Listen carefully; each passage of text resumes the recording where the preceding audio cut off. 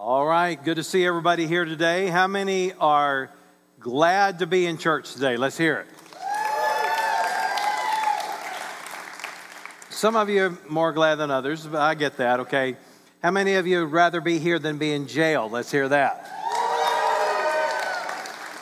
Now, I would follow up that question with how many of you just got out of jail and you came to church today? But I know you, and so I know that many of you did come from jail this weekend. So, but we're so glad to see you today. Thank you so much for being here with us this morning. Now, Jonathan mentioned about that a week from tomorrow we start a one week time of prayer and fasting. And our theme is coming home. We're asking God to bring people here where they will discover a spiritual home, where they'll discover a relationship with Jesus Christ. And then we're asking God to give us a home and um, we're a physical home where we meet and so forth, land building, etc. So that's what we're working towards. So I hope you'll be praying about this, and I hope you will join us uh, because prayer and fasting, according to Scripture, leads to breakthroughs that just regular prayer would not lead to. And so uh, fasting is not about just uh, going on a diet, uh, but rather it is an intense focus on God, and you say to God, I'm so interested in you answering my prayer, I'm so interested in what you want for my life that I'm willing to forego how I would normally eat. And so that's what a time of prayer and fasting is about. So I hope you will join us in that. Well, today we're going to uh, continue. This is actually the eighth message in our series, The Lion are the Lamb, the Lion, and the Warrior King. And it's about Jesus. We're going through the book of Revelation, and we learned that the lens through which we must see the book of Revelation is we must see it through Jesus Christ. It's all about Jesus, it's about the fact that Jesus wins. Now, there, there are a lot of people uh, and a lot of preachers and teachers that will try to teach the book of Revelation from a scary standpoint. In other words, they'll make it about events rather than the person of Jesus Christ. But we find out in the very first few words of the book of Revelation, it says, This is the revelation of Jesus Christ. So it's about Jesus. Now, if you read about all these events, the seals and the bowls and the trumpets, and you see all this judgment coming, it might be very scary to you. But let me just encourage you this book was written to a real group of people by John the Apostle, um, a follower of Jesus, one of Jesus' 12 disciples, and it was around 95 AD. And this group of people, they were being persecuted.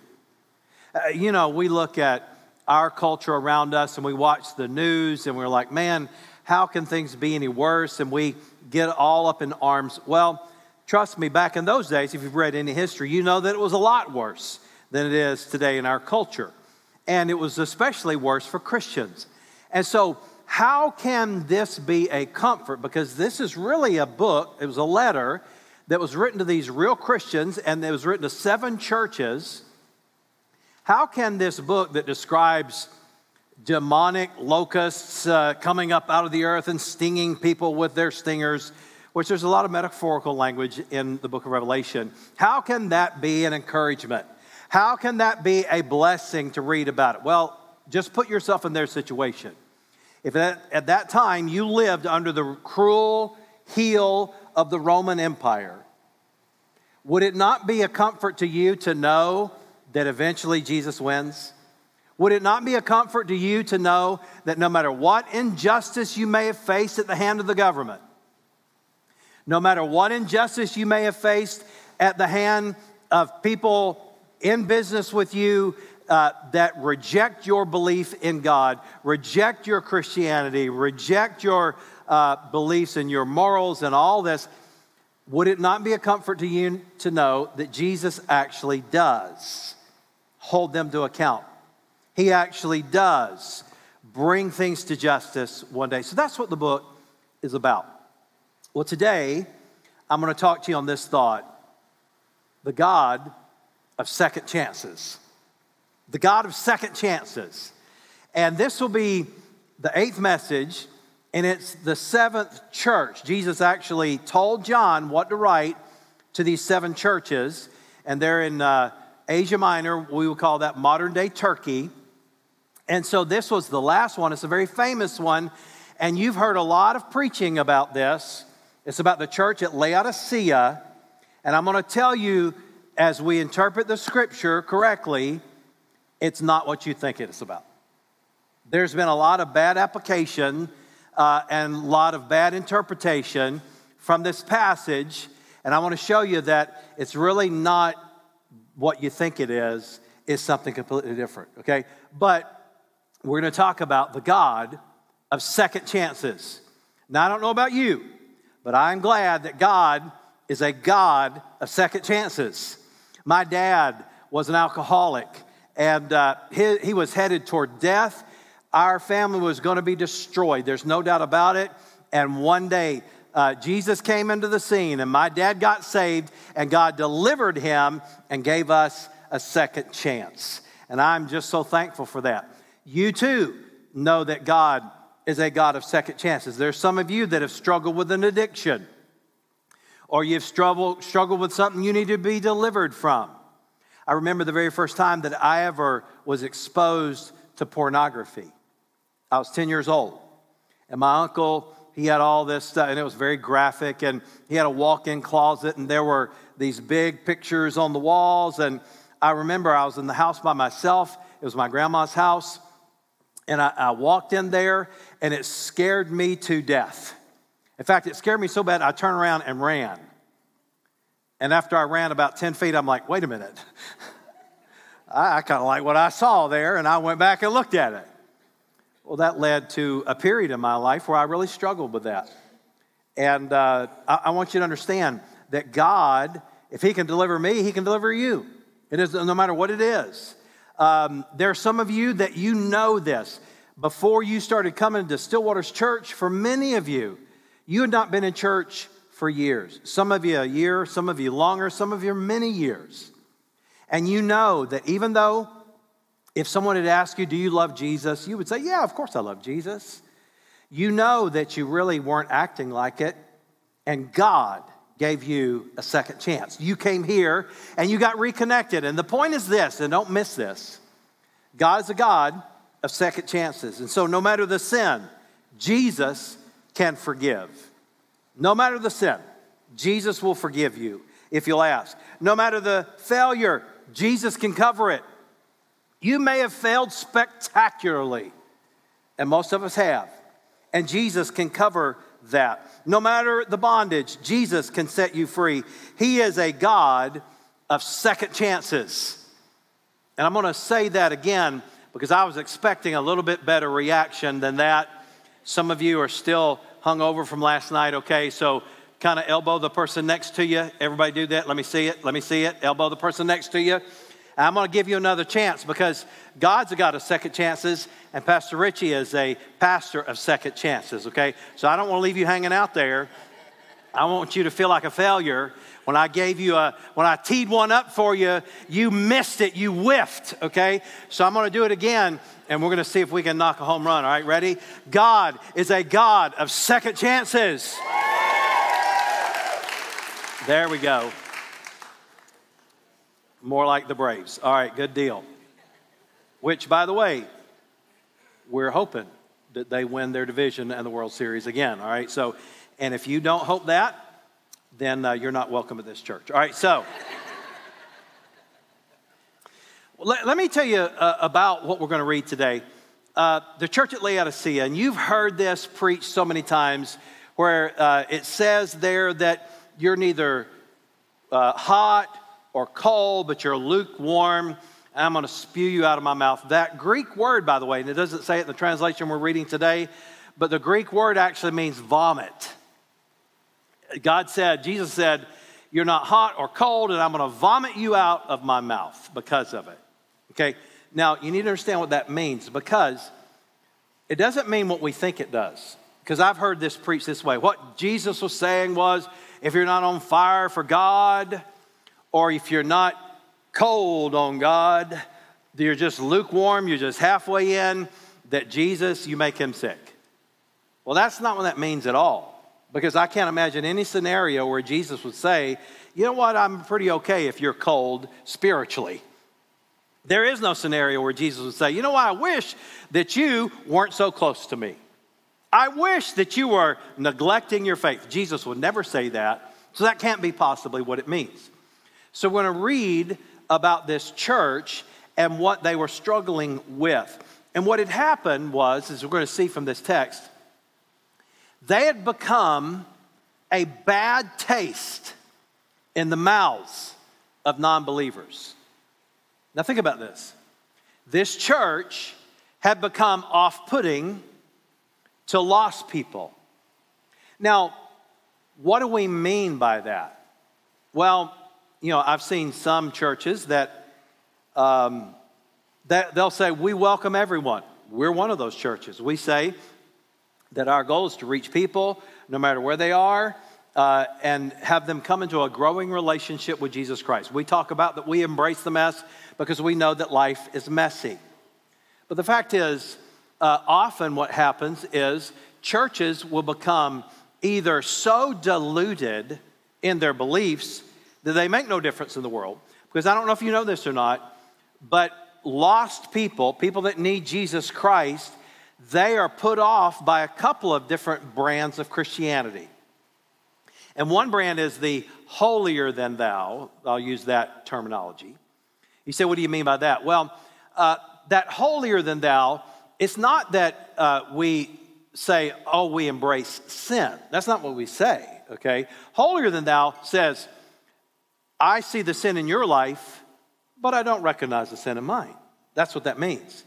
That's also known as hypocrisy, okay? So that is a complete and utter turnoff to lost people. It will put a bad taste in their mouth, okay? And, and then there are uh, what I call the rock throwers, the chunkers, okay? And every, they may not even say, they may not even deny they have sin, but boy, everything in culture becomes World War III and they have to chunk rocks at it. And of course, that is a turnoff to people because why should you expect people who are not Christians to act like Christians, okay? That's not the way it works. What they need is they need the love of Jesus Christ, they need the gospel of Jesus Christ in their life that will radically change their lives, okay? So uh, there are people that are uh, the, the, the holier than thou, the rock throwers. But as I also said, there are those that are so diluted and, and watered down in their belief, they make no difference at all. You see, you may not realize this, but what lost people look for in a witness, what lost people look for in someone that claims to be a Christian is something that has made a difference in their life. They don't want somebody to come in and point out oh, all their sin and ignore theirs. They know they've got sin in their life. They don't need somebody to throw rocks at them. That's not what they need at all. And they definitely don't need a person that says, you know, I'm a Christian, and it makes no difference in their life. It makes no difference in how they live, and how they love, and how they react. So that puts a bad taste in the mouths of non believers. So let's read uh, this text here and see what it says. Uh, Revelation chapter 3, verse 14. And to the angel of the church in Laodicea, write the words of the Amen. The word Amen means truth. You've heard it said, it means so be it. It does, it can mean that, but it means truth. Jesus said, I am the way, the truth, and the life. No one comes to the Father except through me. He said, the words of the Amen, the faithful. Aren't you glad that Jesus is faithful? He's faithful to forgive, He's faithful to love. 1 John 1 9, if we confess our sins, He is faithful and just to forgive us our sins and to cleanse us from all unrighteousness. He said, I am the true witness. He's the witness to the love that God the Father has for you and me. And He says that I am the beginning of God's creation. That does not mean that God created Him. No, no. Father, Son, and Spirit the three persons of the one triune God, uh, the fact is they had perfect fellowship and perfect harmony. And um, by the way, that's really the reason why that you and I crave human relationships. We crave a relationship with God. That's why God designed us in His image so that we could be relational people. Uh, you can't go without having church. And the point is not that, you know, that you can't get a, Christian song somewhere or that you can't even hear preaching online. You certainly can. But the fact is, one of the most important things about church is that relational aspect that God has designed you for. And so, uh, God designed us in His image, and Jesus was there at creation. That's what He's saying, that He is, he is the beginning of the creation. He said, I know your works. You are neither cold nor hot. Would that you were either cold or hot. So, because you are lukewarm and neither cold nor hot, I will spit you out of my mouth. And as I already told you, that word in Greek literally should be translated vomit. He's going to upchuck, all right? Can't keep his lunch down. You know what I'm saying? He's going to blow chunks. All right, that's what it's saying, all right? And in the Greek, it doesn't really say blow chunks, but vomit, that's what it means, right? So you see that he said that um, not only does it create a bad taste in the mouth of non believers, but it also creates a bad taste in the mouth of God. He said, For you say, now this is where the rubber meets the road. He, he, this is where he starts to tell them what they need to do. He says, For you say, I'm rich and I've prospered, and I need nothing, not realizing that you are wretched, pitiable, poor, blind, and naked. And the reason he chose these specific words, I'm going to reveal to you in just a moment. It's very interesting why he used these words. I counsel you to buy from me gold refined by fire, so that you may be rich, and white garments, so that you may clothe yourself, and the shame of your nakedness may not be seen, and salve for, to anoint your eyes that you may see. So he's saying, they say they're rich, but he said, You're not. You're broken. You're poor. He said, You say that you're healthy, but you're not. And he even uses the metaphor here of our eye salve, of anointing your eyes so that you can see. So he's telling them what they need. He said, Those whom I love, I reprove and discipline. So be zealous and repent. We know the word repent means to change your mind, it means to agree with God. He says, You need to start thinking like I think, okay? He said, Behold, I stand at the door and knock. If anyone hears my voice and opens the door, I will come into him and will eat with him. By the, way, by the way, that Greek word, in some of the, old, uh, the, the older translations, it says, I will sup with him. I will sup with him. Um, and that's where the old southern expression supper comes from. How many know what supper is? All right? How many know that there's a difference between uh, lunch and supper or dinner and supper, okay? You Yankees, you say dinner for the evening meal. It's supper, okay? And we have Jesus' word on it, all right? That's what I'm saying. Now, now let, me, let me just kind of explain this to you. When he said that I'll come in and sup with you, um, in the ancient world, in the, in the Hebrew life, they didn't eat a very big breakfast. Just a little something to kind of break the fast of night. And uh, then they would eat kind of a small lunch. Um, oh, I don't know, sometimes loaves and fish. Anybody ever remember that? Five loaves, two fish, feeding 5,000 men, right? And so that was a typical Jewish morning and lunch, breakfast and lunch. But man, at nighttime, you know what they did? It was the big meal of the day. And not only was it the big meal of the day, it was the time that the family got together and fellowshipped. It was the time that you talked to one another. It was the time that you shared with each other. It was a big deal. Here's what Jesus is saying I'm standing at the door and I'm knocking. And if you'll open the door, I'm going to come in and I'm going to hang out. I'm going to be with you, and we're going to share, and we're going to love each other, and we're going to enjoy our time together, and it's going to be awesome. I don't know about you, but I would love to have that with Jesus. Wouldn't you love to have that? I mean, the fact is, at the end of the day, when things are tough, and maybe you've had a tough day and, and, people have been disagreeable, you've had a grouchy boss, you broke something at work, and you come home and you're tired and you're upset, and there's Jesus, and he's wanting to hang out, and he's wanting to talk to you, he wants to sup with you. That, that's what he's saying. He said, So if, I, if you'll open the door, and by the way, there are many pastors, and I've been guilty of this before. It's not, not necessarily a bad application, but Jesus is not talking to lost people. I've used this verse before, probably incorrectly, uh, to say that Jesus is knocking at the door of your heart. If you open the door of your heart, He'll come in and He'll save you. Well, He will if you open the door of your heart, but He was talking to Christians here. This was a church, these were believers. And so He said, The one who conquers, I will grant him to sit with me on my throne, as I also conquered and sat down with my Father on his throne. He who has an ear, let him hear what the Spirit says to the churches. And by the way, he's talking about the spiritual ear that the Holy Spirit speaks to your heart. So, what is God saying to you? This is what he's saying. Listen to what I'm saying. And we see at the end of each of these challenges that Jesus gives to these churches at the end of each one, he says to the one that conquers, to the one who overcomes.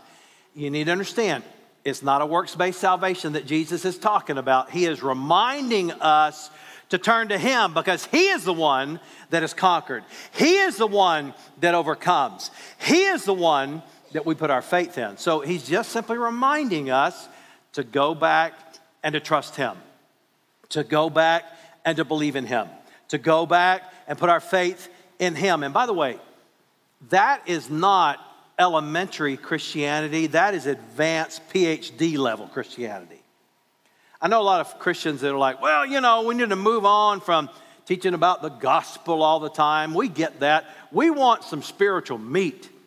You don't get any more spiritual meat than the gospel. You really don't. And when you realize that what Jesus is telling you is to go back to that same kind of faith in every area of your life, in every aspect of your life, that that's what makes the difference in your life. So, I've already set this up, so the points won't be very long, all right? So, let me, just tell you what Jesus is saying to this church. Uh, he's saying that they've lost their voice in the community. They'd lost their influence in the community. They had become a bad taste in the mouths of not only Jesus, but of non believers. And what Jesus is saying, I think, is really two things to this church. He said, The people around you are looking for two things they're looking for authenticity, and they're looking for transparency. In other words, uh, they're looking for uh, people that have transformed lives.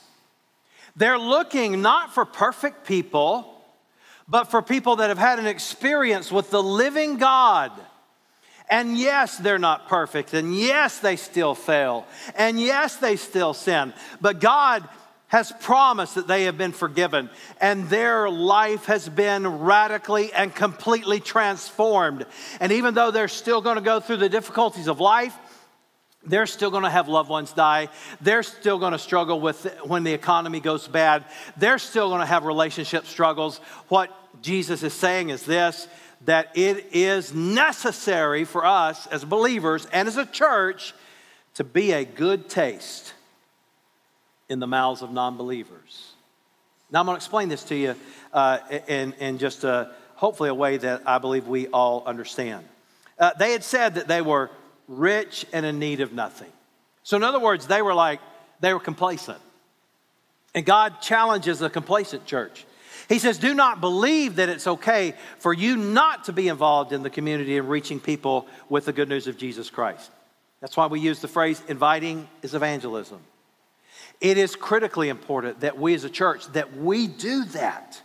And we're going to be doing some things over the next several months that are going to assist you in this. Um, but they said they had no need of anything. This is a very prideful and arrogant statement because they didn't have any water. I don't know about you, but a city that has no water is not going to last very long.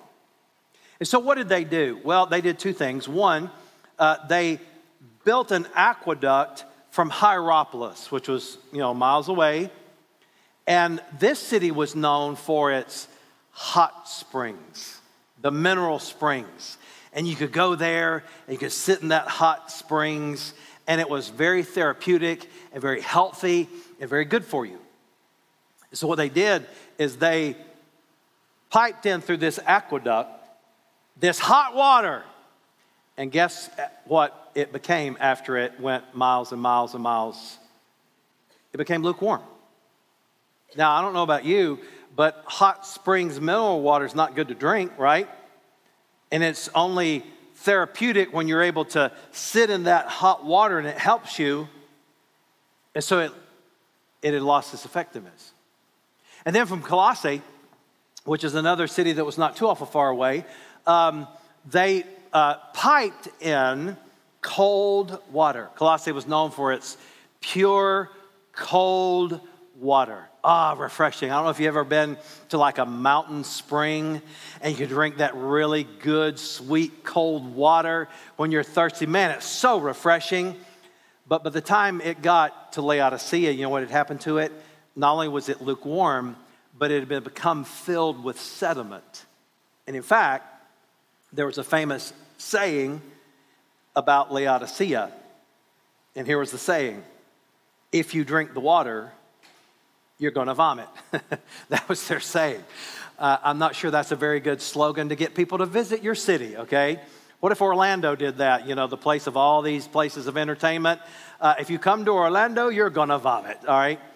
If you go to Disney World when you get the bill, you're going to vomit, all right? That's probably true. But the point is this they said they had all this stuff together and they did not. Their act wasn't together. They said, We don't have any need of anything. They were complacent. Listen to what Psalm 34, verse 8 says Oh, taste and see that the Lord is good. And so this metaphor becomes obvious then. Jesus said, You're not hot, you're not like a mineral springs that is healthy and comforting to people. You're not cold. You're not a cool, refreshing drink of water, but your water is just filled with sediment. It's gross. There are places in Florida. Kim and I, uh, well, Kim is from Florida, and I lived there for about 13 years. And there are places in Florida, not too far from Jacksonville, where we lived, that have sulfur water. Anybody ever drank sulfur water before? You ever had that? That is the most disgusting stuff you've ever had in your life. And there are people there that got used to it. And I can remember going to people's houses and they would take that sulfur water and make coffee. That's sacrilegious to abuse the nectar that God has put on this earth for our benefit. Coffee, and you put salt, you make it with sulfur water. God should judge that. I just want you to know that. And this is exactly what had happened to this city. It would be like drinking sulfur water. Or you get a, a glass of cool iced tea and you go to drink it and it smells like a gopher threw up in it. You know what I'm saying? It's uh, like, ugh, put that away. Well, the obvious point is this that the world around us, they need to have the experience of tasting the goodness of God and seeing the goodness of God in order for our witness to be effective. That's what he's saying. So I've got three points. I'm going to be done in about seven minutes, okay? And I realize this was a long setup, but I want to show you what Jesus was saying to this church to become what God wanted them to be, to become cool, refreshing water that helps people, or to become the hot mineral springs that are beneficial and healthy to people so that we are able to take the gospel in an effective way. There are three things he told them to do. Number one, he said, seek spiritual wealth. Now, listen to what he said. You say that I'm rich and I've prospered and I need nothing, uh, not realizing that you are wretched, pitiable, poor, blind, and naked. It's very interesting that he chose these words because in the city of Laodicea, they had the largest banking system of all the seven cities that Jesus uh, spoke to, these churches. They had the largest banking system of all. They were very well known for their, are you ready for this? Gold. I don't know why I said it that way, gold. That was kind of weird. Um, becoming very preachery. You ever notice that some preachers don't say God, they say God? And so these people were known for their gold, all right? Now, he said, Buy from me gold refined by fire. Let, let, me tell you what Jesus is referring to Isaiah chapter 55, verse 1. And I want you to get this because this is very helpful. Come, everyone who thirsts, come to the waters. And uh, he who has no money, come, buy, and eat. Hold on. They made a mistake because Isaiah, when he wrote this, uh, he said, If you don't have any money, come and buy something to eat. Now, I don't know about you, but if you don't have any money, you ain't buying nothing, all right? You know what I'm saying? Uh, I can remember when I was a teenager going out at times and uh, people would uh, stop at McDonald's and I didn't have any money. You ever been there? And I'm like, oh no, I'm not hungry. And that was a lie because I was 16 years old and I could eat a doorknob. All right, I was so hungry all the time. But I didn't have any money, and you know what? I wasn't buying anything. But you know what Jesus is talking about here? You know what? I, this was a, a, future prophecy about Jesus Christ. He said, Come and buy uh, uh, and eat, come and buy wine and milk without money and without price. Can you guess what he's talking about? He's talking about the gospel of Jesus Christ. Because for you and me, it doesn't cost anything. It costs Jesus everything, but it costs us simply our faith. Now, now get this. He's saying, he's saying this. And this is the key. He's saying that they were to seek spiritual wealth. How do you seek spiritual wealth? Through faith, through trusting God through reminding yourself that it cost Jesus everything, but it's free for us. And so that's what he's saying. What you and I need to do is to get back to understand that Jesus paid for it with his blood. He has uh, blessed us, he has given us grace, he has given us an opportunity to receive forgiveness, to be made right with God. And when by faith we begin to seek spiritual wealth, then we can buy it with gold refined in the fire. We can buy it without price. Uh, so he's not losing his mind when he says this. Listen to 1 Peter 1 7. These trials will show that your faith is genuine. It is being tested as fire testify or tests rather and purifies gold though your faith is far more precious than mere gold so when your faith remains strong through many trials you get it gold and faith and trials we're trusting God. It will bring you much praise and glory and honor on the day when Jesus Christ is revealed to the whole world. What he's saying is, Jesus is going to be really proud of you. Now, I want you to think about this. There are Christians in this world that think they need nothing. They think they're okay. They think they can make it on their own.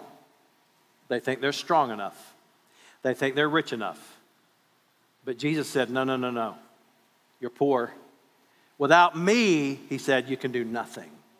Nothing. But when you put your faith in me, that is seeking true spiritual wealth. Isn't that good? He, he said, seek spiritual wealth. Here's the second thing he said, seek spiritual health. By the way, they had the largest banking system, but they also had the largest medical center and school in this city. Isn't that interesting? Jesus said, You need to seek some spiritual health. And particularly, he said, You're blind, get some eye salve and put on your eyes. You know what's interesting about this medical school that was the largest in that part of the world? You know what they were famous for? Ophthalmology, seeing, uh, getting help with their eyes. And, and I don't want you to miss this. What Jesus is saying to us is this that we need to make sure that we see what God sees. We seek spiritual health, not spiritual perfection. Do not be sucked into that because when you become a Christian, you become a follower of Jesus, yes, God forgives you, God redeems you, and uh, that, that's true, but you still have a sinful nature. You're still going to fail, okay? And that's not an excuse, but what he's saying is that we need to seek spiritual health, not spiritual perfection. You know how I know if you're unhealthy or a Christian is unhealthy? When they pretend that they don't have any issues when they pretend there's nothing wrong in their life, when they pretend that everything is just peaches and cream. You know what? I don't trust people that are always happy. Now, I'm a happy person. You can ask my wife, except for when, I, when I'm mad, all right? So, but I don't trust, you know, these people that are like, oh, yes, so it's so wonderful. And I'm like, yeah, I pretty much don't trust you. I mean, these people that they hit their thumb with a hammer and it's like, oh, praise Jesus. No, I don't say that. I'm not going to tell you what I say. You wouldn't go to this church anymore, okay? So he's not talking about spiritual perfection, he's talking about spiritual health. Listen to what uh, it says in Ezekiel 12 2. You shall dwell in the midst of a rebellious house who have eyes to see. Hmm, it's interesting. That's in that passage, isn't it? But see not who have ears to hear, but hear not, for they are a rebellious house. You know what God's saying? This spirit of rebellion will keep you from spiritual health. This spirit of rebellion against God, when the Holy Spirit speaks to you about something that Scripture shows us, He says, have spiritual ears to hear and spiritual eyes to see. Pride causes spiritual blindness. By the way, you know how we know that's true? Remember Jesus telling the story about the Pharisee and the, uh, the sinner? And the sinner prayed, Oh God, be merciful to me, a sinner. He was a, a publican, was, is actually used in uh, older translations. He was a publican, not a republican, but a publican. He was a tax collector, okay? He was a part of the IRS. How many know that that's wicked? All right, you know what I'm saying? All right. Look, my youngest daughter, Brooke, when she got her first job, um, she was so excited and she had uh, earned this paycheck and she came home and she was in tears. I said, What's wrong? What's wrong? She goes, Somebody stole my money. I said, What do you mean? She said, I don't know who FICA is, but I hate him. Well, the Pharisee, on the other hand, you know what he prayed? God, I thank you that I'm not like this wicked sinner. Pride. You know what Jesus said? Seek spiritual wealth and spiritual health. And then finally, seek spiritual clothing. It's all right there in the, in the text. Uh, they had also, interestingly enough, as you might guess, they were the, this city was the largest clothing manufacturer in the known world at that time. That's interesting. They had the biggest banking system but they were broke. They had the greatest medical center, the medical training school, but they were not healthy. And here they had uh, the biggest clothing manufacturing place, and the idea is simple that when you're more concerned, this is the crux of the message, when you're more concerned with your appearance, and I'm not talking about the way your hair looks but of how people perceive you than you are of how God perceives you, then you're in trouble. You, you ever, I've, I've struggled with that before. Opportunity to witness, opportunity to uh, share the, the, my story with others, opportunity to invite people in. And I was intimidated because, like, ah, oh, man, they don't want to hear that. Oh, they'll just reject that. Or I'm afraid they'll make fun of me more interested in what people think than what God thinks. And, and, and, I can just say this with all confidence that you and I, if we want to seek spiritual clothing, we cannot live our lives in that manner. Listen to Isaiah 61, verse 10. I will greatly rejoice in the Lord. My soul shall exult in my God, for he has clothed me there it is, with garments of salvation. In other words, he's resting in the fact that God is the one who saves. He has covered me with a robe of righteousness. By the way, that's not your righteousness, it's the righteousness of Jesus Christ. And the more I result, uh, re, uh, rejoice in that, the better off I am.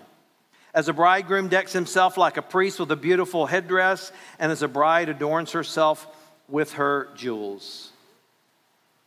Now, let me, let me just end with this. Remember, I said that we often misapply this passage. Behold, I stand at the door and knock. If anyone will open the door, I will come in to him or her, and I will sup with him. Everybody say sup. Sup. Not what's up, but sup. All right? You know what Jesus is saying? That when you seek spiritual wealth and spiritual health and spiritual clothing, you're opening the door of your heart and say, Jesus, come on and let's hang out. Come on in, let's, let's fellowship. Let's share the joys together. Let's share this look on life that you want me to have. Let me hang out with you and fellowship and have joy. Now, I don't know about you, but that's the kind of Christianity I want. Not this stuffy, um, pretend, holier than thou, acting as if everything in my life is perfect. It's not but I sure do want to hang out with Jesus. And I sure do want him to be there with me. And I'm going to do my best to seek spiritual wealth and spiritual health and spiritual clothing. Because when I do, Jesus comes in. Heavenly Father, help us all to open the door of our heart to fellowship with you to love you, and to know you more. Before I finish my prayer, and, and I even talked about misapplying this verse, I'm not trying to misapply this verse, but there are some of you that need to open your heart to Jesus today.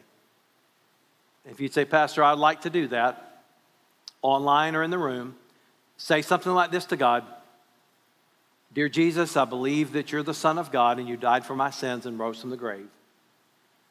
And I'm asking you to come into my life and to change me, to save me right now. And if you'll pray that prayer and ask Jesus into your life, he'll answer that prayer without question. No matter what you've done, no matter how far you've been, uh, no matter what your past is like, Jesus says, I will save you if you'll ask. And so you invite Jesus into your life today online, check at the bottom of the screen that you pray to receive Christ today. In the room, fill out the next step card and uh, drop it in the bucket. We'll have two ushers, one by each exit on the way out. And they'll have, a, they'll have a little bucket. You can just drop it right in there on the way out. And Jesus, we want you to know that we love you and we want to open the door of our heart. For it's in Jesus' name that I pray and ask these things. Amen. Amen. We hope the message you heard today encouraged you and strengthened you in your walk with Jesus wherever you are. If you know of someone that could use today's message, be sure to share it with a friend and also hit the subscribe button so you don't miss a single message. If you feel led today to give towards the mission and vision, you can do so by clicking the give button on the screen. Thanks so much for joining us, and we'll see you next time.